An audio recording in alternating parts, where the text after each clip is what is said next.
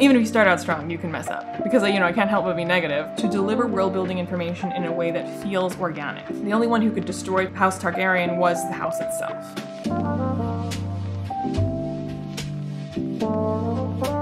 I am pretty picky when it comes to, well, everything. So I was pleasantly surprised that my exacting and specific standards were, or have been so far met by House of the Dragon. We've only seen the first episode so far, but was quite an episode, and I think I've seen enough to be able to say that I have high hopes for this. I mean, the original Game of Thrones show started out really strong and then went went downhill. So that's not to say that you can't mess up. Even if you start out strong, you can mess up. But this is a very, very promising start.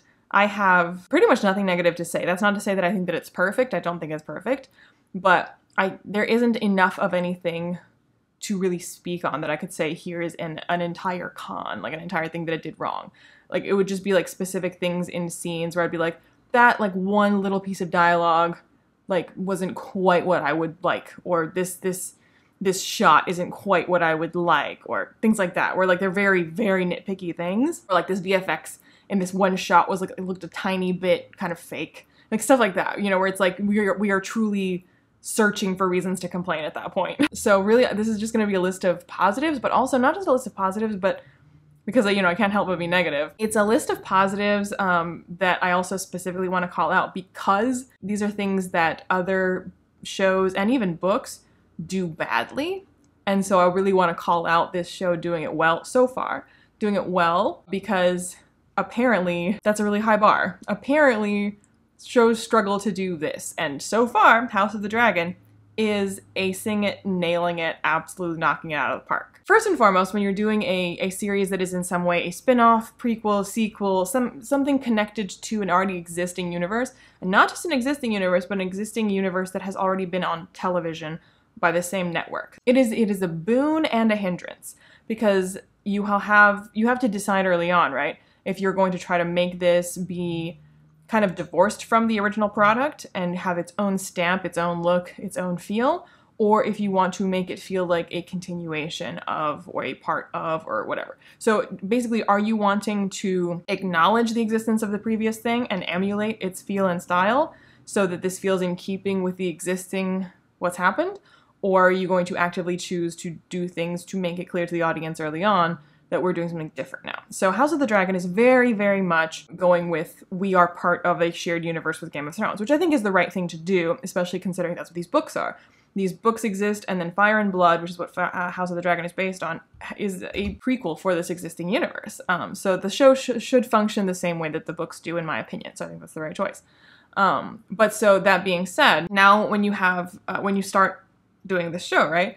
Um, again, it's a boon and a hindrance. Like, how much do you want to retread old ground so that a new viewer who has never seen this, never seen the original thing that this is sharing universe with, someone who's never seen that, never read the books, so that they could watch this, but also not repeat things and explain things to the point where somebody that has seen that other stuff is like, why are you wasting my time with this? Why are we retreading this?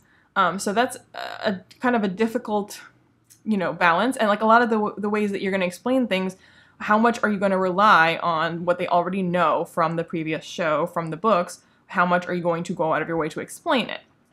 Again that's a tough needle to thread. That's a tough line to walk. And so far this i've only seen one episode this first episode was a brilliant introduction and reorientation into this world. It does a brilliant job um, through like the the overview shots of the place the shots of the people um, the way that it sweeps you through in the pretty in the, early on in the show, the way it kind of navigates you through uh, some aerial shots and some shots of the the the place we will be in, at least uh, in the beginning, uh, mainly King's Landing. It's fantastic because it does two things. One, it reacquaints you with an existing world, so it should look somewhat familiar to you because this is the same place that a lot of Game of Thrones takes place. So kind of welcoming you back into the world of Westeros, being like, here's you know, here's where we are Westeros, does this look familiar? Does this look like something you know? Are we feeling like we're home again? Great.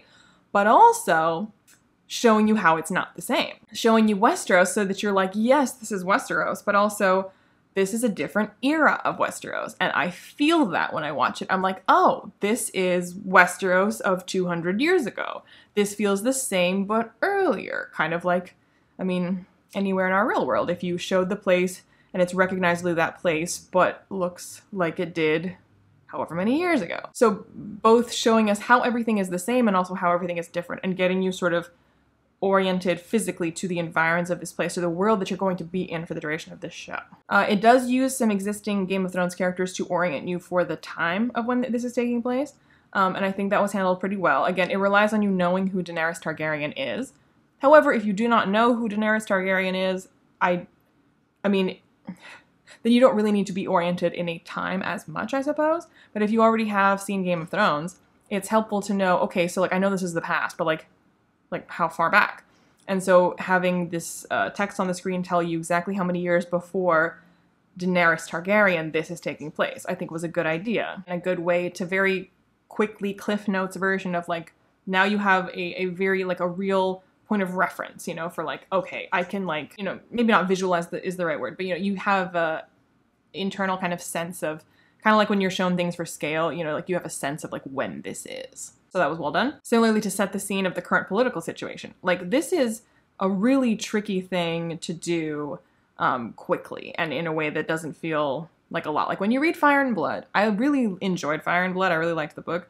But it is like drinking out of a fire hose. Like, the amount of, like, details he throws at you and character names and events because it's written like a history book. So you're just like, it's not like scenes where there's like a slow unfolding of events. Like, we are whipping through 300 years of history. And so the fact that this show is chosen to start um, in a midpoint, so we're already like a bit of a ways into Fire and Blood. And so in order to understand what's happening in this point in Fire and Blood, like if you're reading the book, you have been building up to this point. You've been following the families and and who all is involved and all of the rivalries that have been slowly brewing and the generational politics that have been going on. But the show is dropping you in in the middle of that already having happened so not only does it have to orient you in terms of where Game of Thrones is and where this is in relation to that, it also has to kind of catch you up on the stuff it skipped over and not ideally in a way that feels overwhelming or info dumpy. It does this wonderfully. It, it, gives you enough nods to, oh, the Targaryens have been around, they are in power, there was a conquering. Like it, it throws out, you know, some like some information like that that is, you know, general enough to where you don't feel overwhelmed by it, but you're like, I have a sense of kind of how we've come to this point. There is the brief intro telling you how specifically, maybe not every generation that came before, what they all got up to and what they all accomplished, which is what you get in Fire and Blood. And you get the basically the, the bit of sort of exposition prologue that you get is setting up specifically this generation's political situation, this generation's familial politics. Who is who? Uh, who are the main players and how they are in the positions they are in, and what built-in rivalry exists in that, i.e., the decision to like the, the choice of who's going to be made the heir to the throne and how this is kind of a group decision and how this was not like a given, you know, that, that precedent is being set by this decision. Um, somebody was chosen over someone else um, when they could pretty much had an equal chance at being chosen. And so that sets up this is the person who is in power, they are the king, and that's where we're, we're stepping off now. That's the opening of opening situation for this show. They are in power, but we already know that the fact of them being in power was like a 50 50. That it's not exactly the most solid of positions to be in. And we get the brilliant bit of foreshadowing the beginning of the show, which is what the entire sort of premise of this portion of Targaryen history is, is that the the reason why this was all done, why they had to have this group decision, up, and it, it was you know had to be decided in this way about who's going to be the heir to the throne, um, was because they knew that the only one who could destroy House Targaryen was the house itself, and this spoilers, is going to be an entire show about Civil War. So it's a great way to set the scene of like the rocky ground on which we already are and how this house is going to eat itself basically. Setting that up is already like a great jumping off point because you feel oriented to this world, you feel oriented to the situation, and you already feel some amount of like stakes and tension and investment in the political situation that you're going to be in now. Like you all like a lot of shows, you know, kind of have to give you a second to like show you stuff and introduce you to everybody, and only then do you start to finally learn what might be the inciting incident or conflict. Here, and the almost at the very beginning of the episode, we already feel the tension that is uh, the, the, the sort of key problem that is going to set everything in motion. Like you're already there in the beginning of the episode, um, and it's done so quickly and effectively through like giving you these key pieces of information and key visuals and key scenes um, so that you're already hooked and there and aware of how tense this is. Um, I mentioned a couple things already.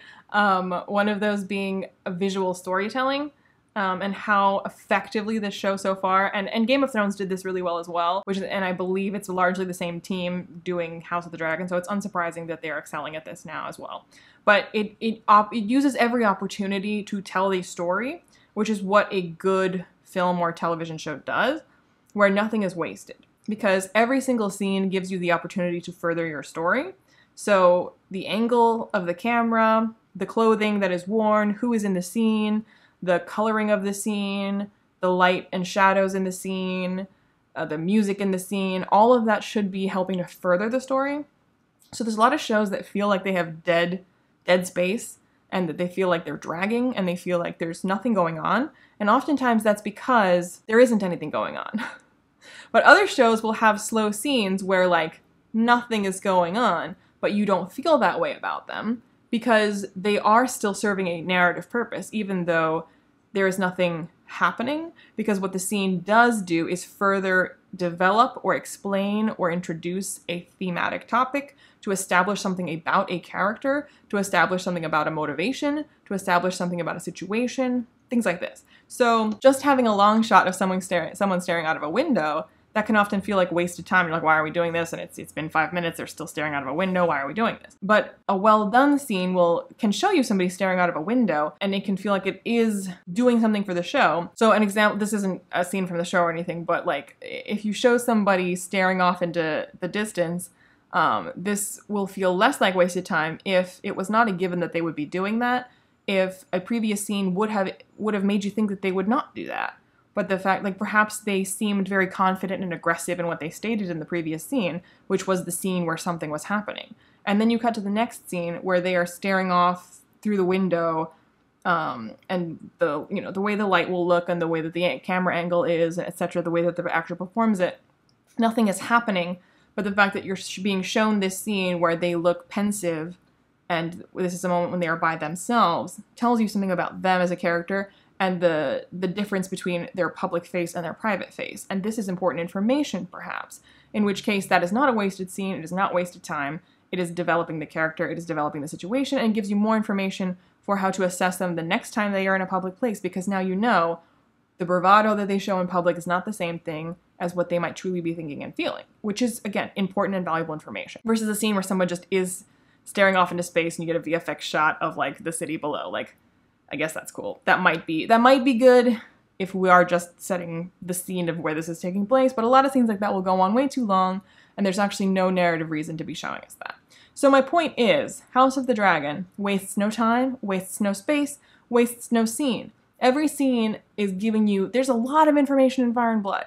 And for that to feel digestible and approachable, especially to a member of the audience that has not read it, um, you have to be able to subconsciously be giving that information to people so that they the the information that is handed to them consciously is like digestible enough, small enough dose of it, um, and then the rest of it is being filled in subconsciously, and so you can absorb the feel of everything that's going on, and you don't feel overwhelmed by it because it all you're you're picking up information without knowing that you're doing it. So some great examples of this are in costuming and in camera angles that they're choosing. So these are just the show does this basically in every scene with every character, but these are some like great examples of it um, to illustrate my point. Three characters for three very key characters in particular.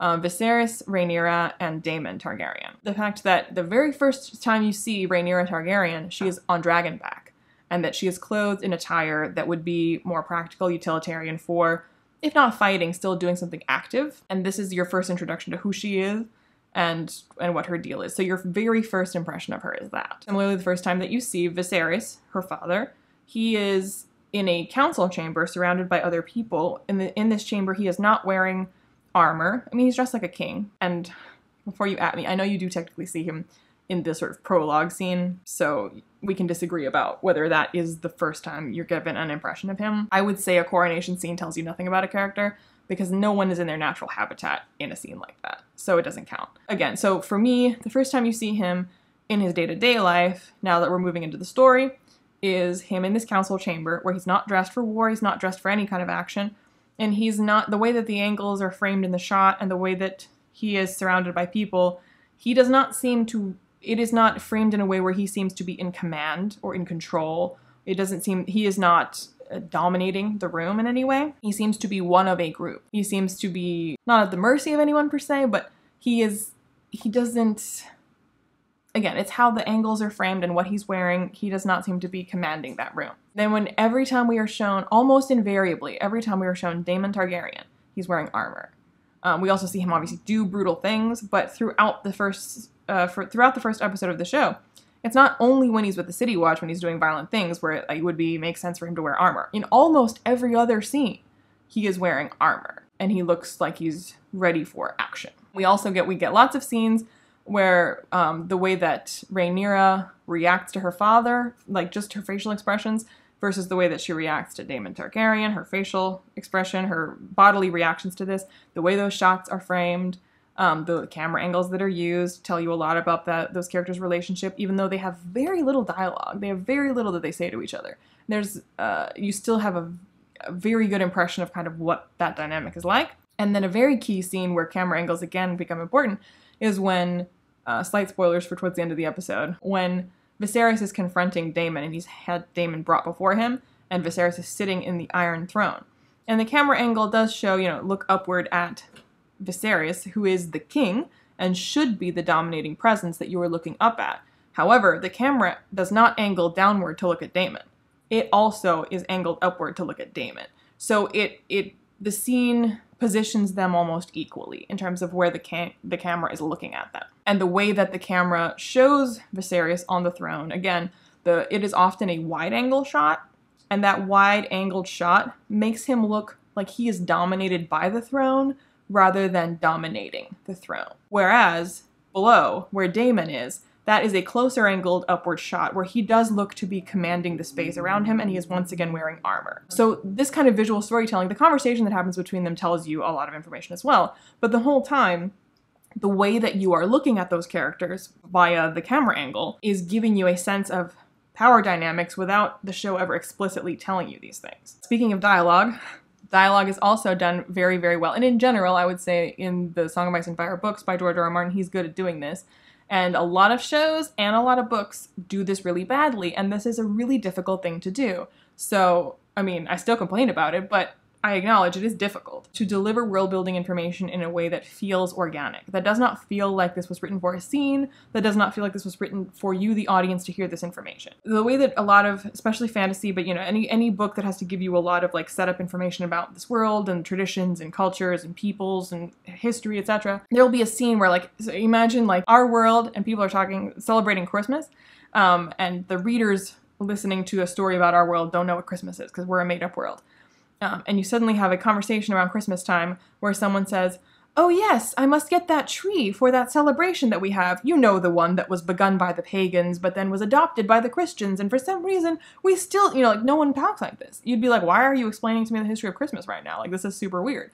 Because it is super weird, because everyone that that person would be talking to already knows this. Like, why are you, why are you saying this? So, in a lot of fantasy and speculative books and in TV shows, characters will say wildly unnatural things like that because the audience needs to know this information. But it feels jarring and out of place, and that's what makes it feel oftentimes quite fake is that you're like, why are they talking like this? Like, why would they be explaining something to each other that they already know? Like, it feels weird, it feels awkward. So there are much subtler ways of doing this, and it's rare that a book or a show can get away with absolutely never doing that although uh, it's been done. But there's a lot of times when you can have characters say things where they don't full on explain something, but they do give you enough pieces, enough context clues, and then even if that one conversation didn't give you the whole picture, still through as you go on, what information you did glean from that conversation, coupled with what you learn in another scene, coupled with what you see in another scene, coupled with your own ability to, you know, think logically, you can piece together the situation without the the dialogue or narrator explicitly ever having to tell you something. A lot of the political dynamics and the familial relationships and the the personalities of the characters and everything that's going on in Game of Thrones, this it did it very well, but in House of the Dragon, there's a, there's a lot of characters, there's a lot of politics that we have skipped over and we're starting in the middle. And it would be so easy to just have characters walk around and just like monologue and tell you the history of their world, which would feel very strange.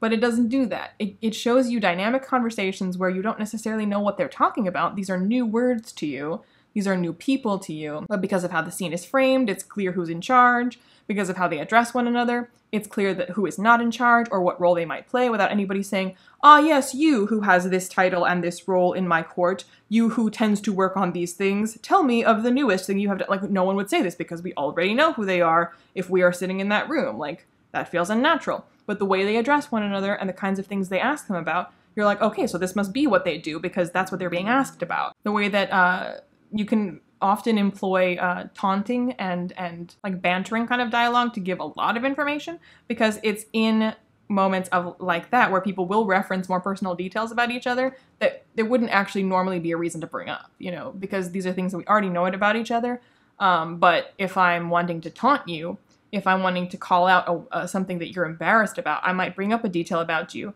that it doesn't i mean it doesn't otherwise make sense for me to mention it but it might be important for the viewer slash reader to know this so by having a character call it out as a taunt, it feels normal in universe for that to be happening, but also gives you information. So Daemon Targaryen is great for this because he does like to taunt people. And when he does that, he calls out history about those characters or uh, information about their situations that would be difficult to otherwise deliver to you, the viewer, or you, the reader. Now, the show does offer a lot of creative, uh, a lot of opportunities for creative liberty because the book itself is is written like a history book. So it's not there aren't again these slow scenes unfolding. So I'm pleased to see that they're sort of taking that opportunity and running with it in a very good way. Um, because you know, in a book like Fire and Blood, you can say, "Oh, Daemon Targaryen was made the head of the the City Watch, and he did brutal things." Um, so obviously, in a show, you're going to be showing them do that. You're going to be showing the minutia of the reactions to him doing that. You're going to see the scene in which this happens. You're going to see the scene in which people react to it having happened. So things like that's just one example. But in a book like that, where it's just basically a list of events. A list of people, a list of births, a list of deaths, a list of marriages, a list of title changes and events.